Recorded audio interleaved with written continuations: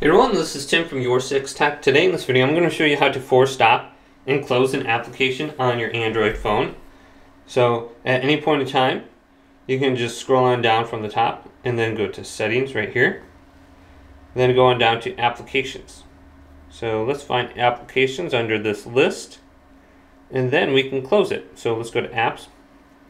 Then we go to see all apps and we can find the application that's causing a fuss so sometimes Blink is um, acting up, and we can simply just go to force stop. Force stop, if you force stop an app, it may misbehave. Well, it's misbehaving already, so we can just force stop it, and then we can go to open, and open the application. So you can easily force stop there, otherwise you can press this little square button, and you could just try going to, where is it, the app info on the top, so if you hold down on the icon above it, you can go to app info. I'll bring you to the same page where we can force stop it here quicker. But hopefully this video did indeed help you out. Did leave it a big thumbs up. And subscribe my channel down below for more tech videos coming up next on Your 6 Tech.